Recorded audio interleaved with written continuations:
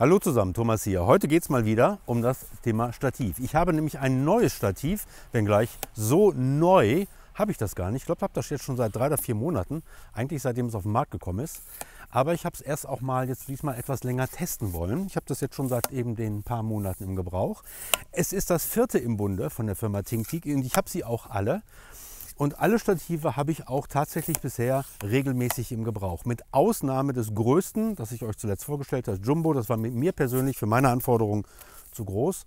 Und je größer ein Stativ ist, umso schwerer ist es auch. Das habe ich dann relativ zeitnah verkauft. Aber das erste und das zweite, was auf den Markt kam, das Wing, das ganz kleine Reisestativ, das Pyramid, das etwas größere, aber auch noch sehr gut als Reisestativ geeignet, weil es auch noch relativ kompakt und äh, nicht allzu schwer ist die habe ich wirklich dauerhaft im Gebrauch und so sehen die inzwischen auch aus. Und das hier ist das Neueste und das ordnet sich eigentlich so schön in der Mitte ein, zwischen dem Pyramid und dem Jumbo und es hat eine sehr, sehr schöne Größe für Menschen, ich sage mal zwischen 1,70 Meter und 1,85 Meter.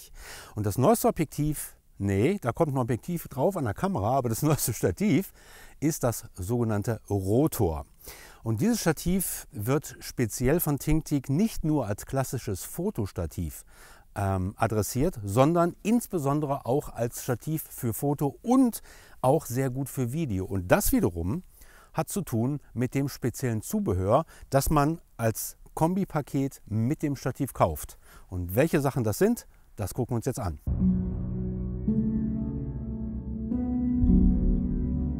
Kommen wir zu den wesentlichen technischen Eigenschaften des Stativs. Davor aber noch ein ergänzender Hinweis und der betrifft die Stativköpfe oder insbesondere natürlich jetzt den neuen Stativkopf, den größten bisher, den Jumbo mit einer Traglast von bis zu 25 Kilo.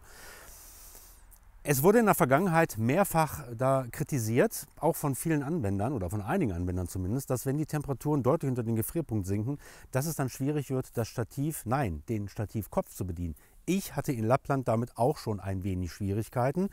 Und das hat zu tun mit dem verwendeten Dämpfungsöl, das wohl offensichtlich nicht so frostfest war, wie das hätte sein sollen, wenn man bei solchen niedrigen Temperaturen fotografiert, beziehungsweise den Kopf beim Fotografieren verwendet. Und das Dämpfungsöl wurde jetzt geändert. Man hat jetzt ein anderes Dämpfungsöl im Gebrauch bei allen neuen Stativköpfen, insbesondere jetzt auch, wie gesagt, bei diesem hier, bei dem großen sodass man keine Schwierigkeiten mehr haben sollte bei sehr niedrigen Temperaturen, bei deutlich unter Null absinkenden Temperaturen zu arbeiten. Und das betrifft im Wesentlichen einmal die Panoramafunktion hier unten, womit man den gesamten Kopf um seine eigene Achse drehen kann und natürlich auch um, den, um die Kugel oben zu bewegen. Die Kugel selber ist nicht mit einem Dämpfungsöl ähm, versehen oder brauchte auch keins, aber der Knopf, um das Ganze zu fixieren, der wiederum hat ein Dämpfungsöl. Und diese beiden Elemente ließen sich dann fast nicht mehr bedienen und das hat man jetzt an der Stelle geändert. Kommen wir aber nochmal zurück zum Stativ. Das Stativ hat eine, ein Gewicht von etwa 1,9 Kilo, hat eine Höhe, die Basalplatte hat eine Höhe von 1,45 Meter und das sollte eigentlich für die meisten, für meine Körpergröße reicht das gut. Ich denke, für Leute mit einer Körpergröße von um die 1,80, ein bisschen kleiner, ein bisschen größer, kommen wir mit dem Stativ sehr gut hin. Und dementsprechend ist es, glaube ich, fast das universellste Stativ, zumindest für viele etwas größere fotografierenden Menschen, sodass wir nämlich dann wirklich ohne uns nach vorne beugen zu müssen, sehr schön, ihr könnt das sehen, ähm, durch das Okular der Kamera gucken können. Also wir können wirklich schön gerade durchgucken, ist also eine schöne Arbeitshöhe. Ansonsten ist eigentlich nicht sehr viel dazu zu sagen wie alle Ting-Tik-Stative, alle drei, die ich habe bzw. hatte, sehr gut verarbeitet. Es läuft, funktioniert alles einwandfrei, insbesondere auch hier diese Schraubelemente. Solange ich die Stative habe, gab es dann die Schwierigkeiten, auch selbst wenn da ein bisschen Sand eingedrungen war, alles kein Problem. Also insofern die Qualität ist über jeden Zweifel erhaben zumindest in den letzten Jahren des Gebrauchs. Was noch natürlich hinzukommt, das gilt jetzt wieder für die Stativköpfe, natürlich ist die Schnellwechselkupplung, die dabei ist und da gehört normalerweise auch noch gleich eine Platte dazu, die man unter die Kamera schrauben kann. Solltet ihr nichts anderes schon an der Kamera dran haben, ist natürlich AKS FIS kompatibel und damit am universellsten verwendbar. Universellsten? Ja, doch, ist richtig. Universellsten verwendbar. Das ist eigentlich schon alles, was man sagen kann. Für mich gute Ting-Ti-Qualität, an der gibt es für mich nichts auszusetzen. Und natürlich, wir können, weil wir keine Mittelsäule haben, ihr seht das, wir haben hier so, so einen Stumpf, dazu komme ich gleich. Warum wir da so einen Stumpf haben, denn hier können wir dran schrauben und können das Ganze lösen. Wir können das Stativ ohne Probleme in verschiedenen Positionen, Winkeln aufstellen, insbesondere auch bodennah. Und deswegen, das ist ganz wichtig fürs bodennah fotografieren, hier gibt es keine Mittelsäule, nur diesen Stumpf, aber der hat eine, dieser kürzere hat eine Höhe, sodass es beim Ausbringen keine Probleme zum bodennahen Fotografieren kommt. Und jetzt gucken wir uns mal das Zubehör an, was mit dem Stativ ähm, kommt und wozu man das verwenden können kann. Ein wesentlicher Aspekt, der von TinkTik mit dem Stativ und dem entsprechenden Zubehör adressiert wird, ist, dass dieses Stativ in Verbindung mit dem Zubehör insbesondere auch sehr gut geeignet ist, sowohl für Foto als auch für Video. Denn hier gibt es ein paar Besonderheiten, die man bei dem Stativ beachtet hat. Den Aufbau, den wir jetzt hier sehen, das ist ganz klassisch. Wir haben eine Basalplatte, die im Übrigen tauschbar oder wechselbar ist. Dann diesen relativ niedrigen Knopf oder beziehungsweise dieses, dieses Schraubelement, sodass wir den Kopf oben schön festdrehen können. Da gibt es auch keine Probleme mit irgendwelchen Imbusgeschichten, dass du nicht den passenden Imbusschlüssel dabei hast oder der ist ausgeleiert. Damit kann man immer schön alles abschrauben, auch wieder dran schrauben. Also eigentlich eine grundsätzlich sehr schöne Konstruktion. Und damit können wir das Ganze auch abnehmen. Und damit haben wir das Stativ erstmal lose. Basalplatte ist die hier und da habe ich dann den Kopf dran und hier haben wir dieses kurze Element. Und das ist also die eine Möglichkeit. Es gibt eine zweite Möglichkeit, denn wir haben hier eine Schale in dem Stativ, die dann neben der Basalplatte, die man oben aufbringt, auch Halbschalen oder Halbkugeln einbringen kann. Und da gibt es dann die zweite Variante zum Fotografieren, nämlich die Panorama-Variante. Ich nehme jetzt mal dieses längere Element. Das ist natürlich dann für bodennah nicht mehr geeignet, hat aber einen schönen langen Hebel, sodass man da auch noch eine ergänzende Sache mitmachen kann. Deswegen, ich mache das erstmal schön fest. Damit ist das Ganze jetzt fest. Dieser Kopf ist sehr flach und hat auch eine Panoramafunktion. Mach mal die Kamera da drauf. Machen die hinten mal fest und wir haben hier vorne ein, eine ergänzende Schraube. Damit können wir das Ganze lösen, sodass wir jetzt hier eine Panoramafunktion haben. Also ein spezieller Panoramakopf und ihr kennt das, wenn ihr auch schon mal Panoramafotografie macht. Wie kriegst du das Stativ mit der Kamera so plan ausgebracht, dass du wirklich horizontal schwenken kannst? Die können gerne vorbeigehen, das ist überhaupt kein Problem. Da machen wir jetzt hier mal eine kurze Pause. Ich glaube, jetzt sind alle vorbei, dann machen wir mal weiter. Wir haben also hier diesen Panoramakopf und die Frage, die, die man sich natürlich immer stellt, wie kriege ich die Kamera waagerecht ausgerichtet, damit, wenn ich schwenke, damit ich nicht zur Seite schwenke und nachher einen Teil des Bildes verliere. Dazu haben wir einmal hier unten diesen Knopf, den können wir wieder schön lösen. Und ihr seht das, wir haben eine Halbschale, die kann man, glaube ich, um in einem Winkel von etwa plus minus 15 Grad kann man die variieren.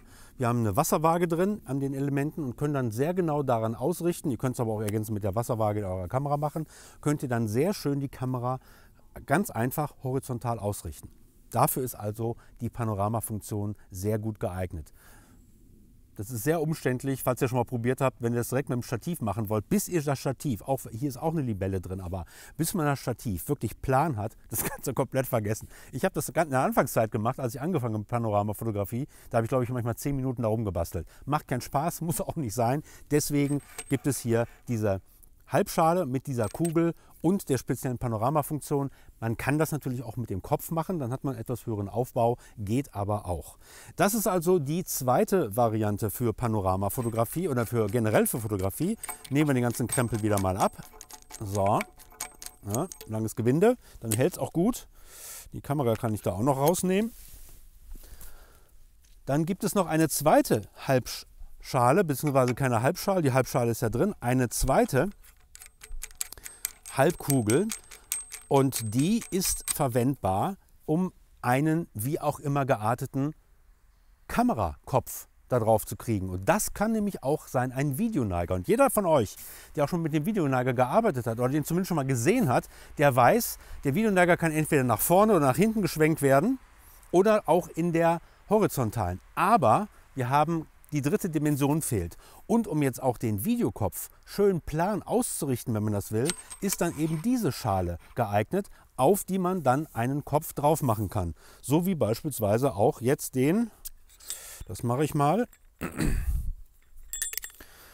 den normalen Kugelkopf. Weil ich habe keinen Panoramakopf, zumindest jetzt nicht dabei. Sodass wir auch einen normalen Kopf da drauf machen können. Stellt euch vor, das ist jetzt der Videoneiger und dann könnt ihr den auch schön ausrichten. Also man hat daran gedacht, dass man sowohl die Fotografen als auch die Videografen adressieren kann mit der kompletten Konstruktion des Ting-Teak, wie heißt es, Rotor.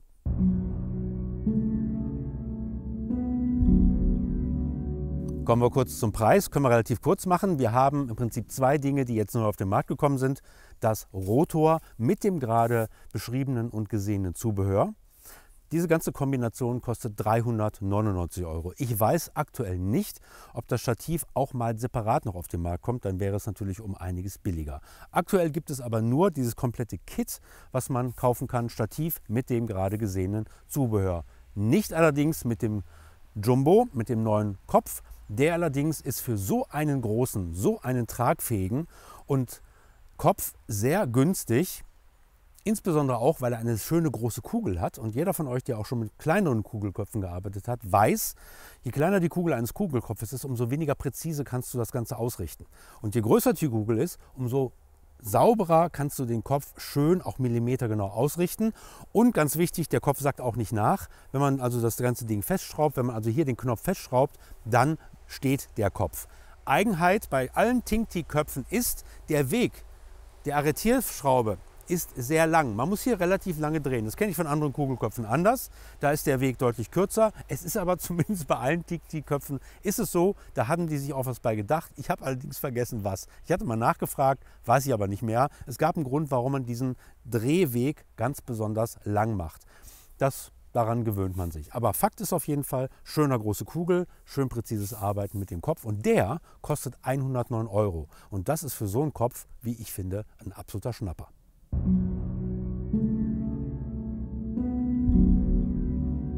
Mit dem TinkTeak Rotor bringt TinkTeak ein viertes Stativ auf den Markt, das sich, wie ich finde, sehr schön einreiht und auch wunderbar einpasst in die bisherige Serie. Hier haben wir jetzt vier verschiedene Stativgrößen und mit dem Rotor insbesondere auch ergänzendes Zubehör, sodass das Fotografieren oder das Filmen oder je nachdem, wie ihr unterwegs seid, auch beides sehr vielseitig, sehr flexibel, sehr schön möglich ist. Gerade durch diese Halbschalenkonstruktion mit den jeweiligen halbkugeligen Elementen, sodass man das Ganze schön ausrichten kann.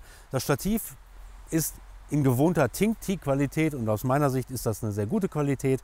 Ich hatte es ja in der Anmoderation schon gesagt, ich habe alle vier Stative, eins davon habe ich verkauft, also ich habe unverändert drei seit Anbeginn der Tink-Teak-Zeiten und ich habe alle noch im Gebrauch und da gab es noch nie technische Schwierigkeiten, mit einer Ausnahme, dass das Dämpfungsöl, was in der Vergangenheit verwendet wurde, bei sehr niedrigen Temperaturen Probleme macht. Aber auch das hat man ja adressiert. Wenn ihr 1,70 Meter, 1,80 Meter, so wie ich 1,82 Meter, lasst 1,85 Meter groß seid. Also ich sage mal normal groß, dann ist das auf jeden Fall ein Stativ, das ihr in Erwägung ziehen könnt auch bei dem Preis. Insbesondere der Kopf, der neue Jumbo-Kopf, ist sehr, sehr gut gelungen und kostet relativ wenig Geld.